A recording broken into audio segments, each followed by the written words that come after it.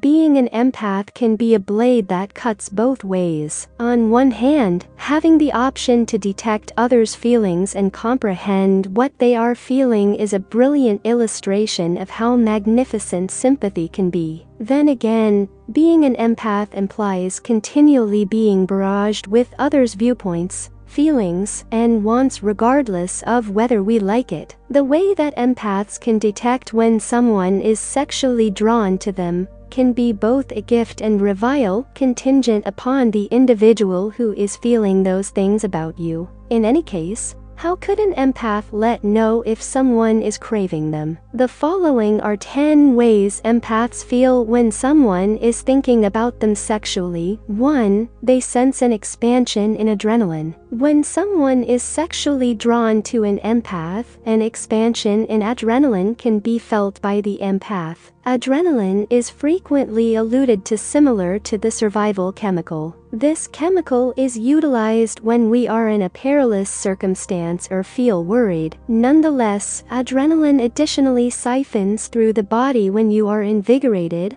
or sexually excited. This is the reason adrenaline will be exceptionally present whenever someone is sexually drawn to you. When an empath faculties the adrenaline of someone else, it can cause them to feel apprehensive and restless. They might feel like they need to move around more or take a walk. This is particularly evident when they don't as yet see that this adrenaline is positive. In any case, they won't simply feel the adrenaline. 2. They feel the sexual strain. The sexual strain that empaths can feel from someone's physical allure, can overpower them on occasion. This can cause an empath to feel like they are being consumed by someone else's cravings for them. Assuming you've at any point felt sexual strain between you and someone, duplicate that by 100 and you'll draw nearer to what an empath feels in that. Numerous empaths depict this sensation as feeling like they are trapped in a thick, tacky haze. When empaths are around individuals to whom they are sexually drawn in, or who are sexually drawn to them,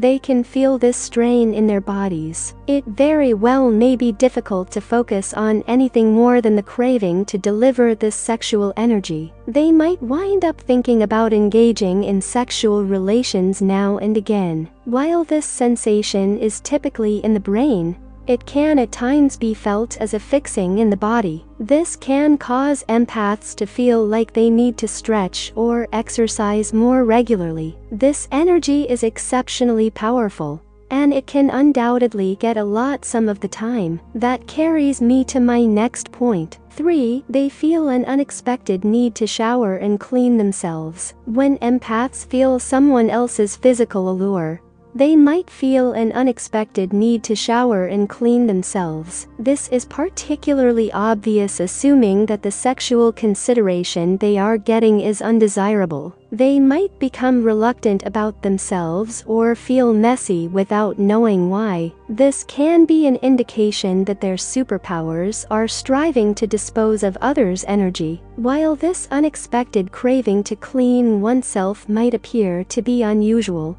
it's a generally expected feeling experienced by empaths who feel physical allure from others. The longing to wash is a way empaths can let the energies of others out of their bodies. When they feel messy, it's an indication that they have taken on something over the top. It likewise helps empaths feel more in charge of the circumstance. Furthermore, having more control can assist with diminishing how much energy they are taking in. Consider it. By scrubbing down or a shower, you can figuratively clean yourself from these contemplations and feelings that feel extremely grimy. In any case, that is by all accounts not the only way empaths adapt to that sort of energy. 4. They should be distant from everyone else to refocus and recuperate from detecting that multitude of feelings. When empaths notice the physical allure of someone else, they might need to move as distant from that individual as could be expected. This is because they have taken on an excessive amount of energy and have to refocus and recuperate. This abrupt craving to be separated from everyone else can cause empaths to feel humiliated or blameworthy,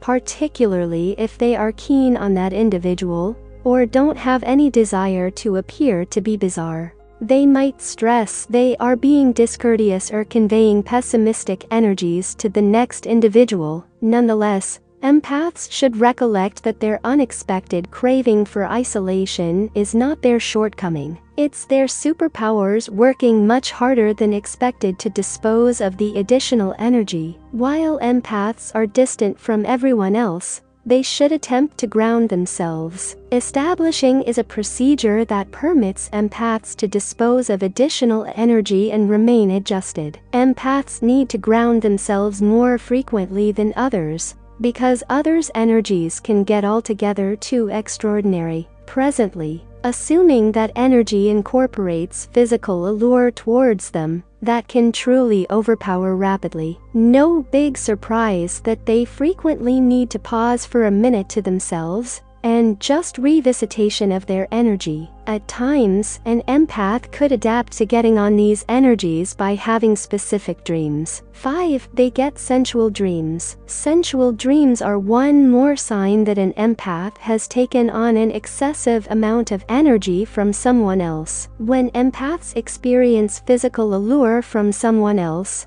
they might dream about that individual sexually. These fantasies can be incredibly clear and agreeable. They can happen while the empath is fantasizing or while they are resting. Sexual dreams are generally a sign that an empath has taken on a lot of energy from someone else. These fantasies are a way for the empath to process and deliver that energy. Sensual dreams are most normal when empaths are involved with someone else. They can likewise happen when empaths are single.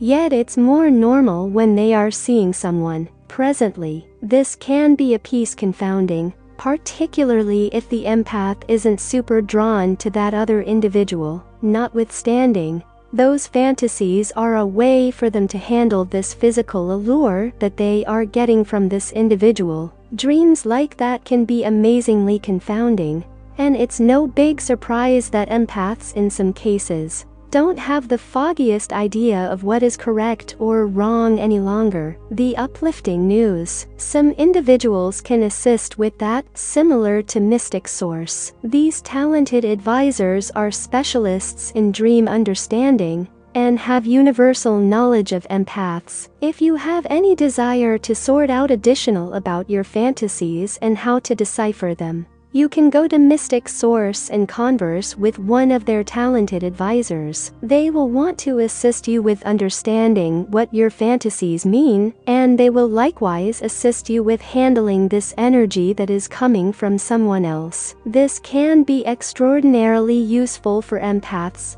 particularly on the off chance that they're seeing someone on the off chance that they're just attempting to sort out what's the deal with them. It's no big surprise that empaths are misunderstood here and there. They are extremely delicate individuals who need to manage a ton of energy from others. In any case, the fantasies aren't the main thing they notice. 6. They notice the other individual's nonverbal communication around them. Empaths can see the unobtrusive changes in someone else's nonverbal communication when they are sexually drawn to them. They can see the indications of physical allure in the other individual's stance or looks. They can see things like the other individual standing somewhat nearer or shifting their head aside. Empaths can get on others' inconspicuous changes, regardless of whether they are purposeful. This can be both a gift and a revile. When empaths notice the unobtrusive changes in someone else's nonverbal communication,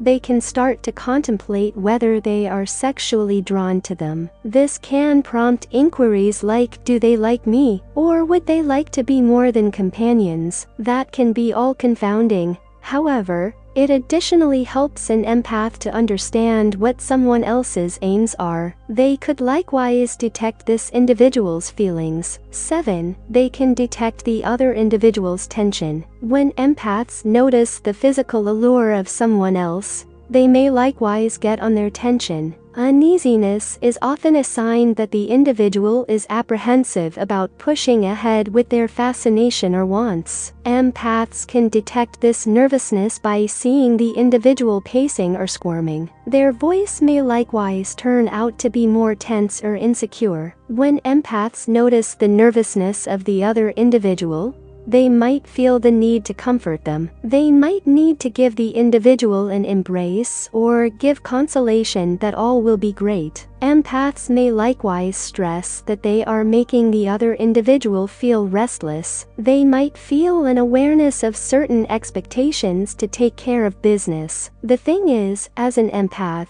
you could not always comprehend where the uneasiness is coming from whether it's certain or negative. All things considered, empaths probably won't understand that the other individual is sexually drawn to them. They can detect this tension exuberating from them, except if they feel a fascination. 8. They feel the fascination between them. When empaths are sexually drawn to someone else, they can feel it all through their whole bodies. This feeling can cause empaths to feel like they have been hit by a cargo train. This fascination can cause empaths to lose their equilibrium and stagger over their words in discussion. They might feel abruptly silenced or incapable to think obviously. The fascination can cause empaths to feel incredibly excited and struggle with controlling those feelings. When empaths are sexually drawn to someone else, they can feel that individual's sexual energy in their bodies. This is an indication that the fascination is genuine and not a misunderstanding. This is befuddling, yet in addition wonderful. When the fascination is shared,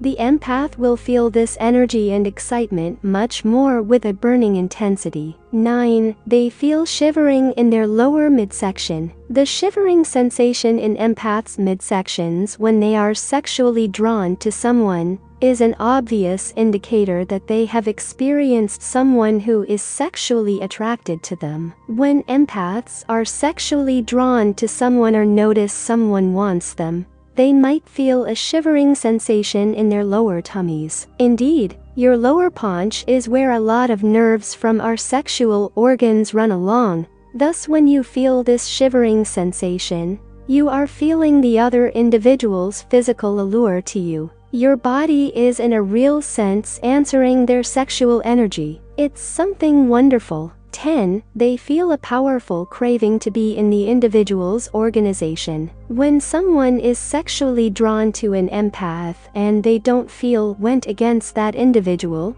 they might need to be in that individual's organization significantly more. They may need to associate with them constantly and make a move to do as such. Empaths might feel a powerful urge to be in this individual's organization. This can cause empaths to turn out to be more outgoing and garrulous around them. They likewise could invest more energy than expected preparing for this individual or even spruce up more than expected. This is because a piece of them realizes that they share a common fascination. Thus they will feel this enormous craving to be together somehow. Last contemplations. When empaths are sexually drawn to someone, they are taking on their feelings, wants, and sexual energy. Taking on someone else's energy can cause empaths to feel overpowered and depleted. This can make empaths befuddled about what's going on within them. They might become dubious of their feelings, and keep thinking about whether their longings are their own, or on the other hand on the off chance that they are being controlled by the other individual. Notwithstanding, when the fascination is common, this can likewise be something delightful. Being an empath accompanies its potential gains and disadvantages. It's anything but something terrible to feel others' feelings. It can be a piece overpowering on occasion.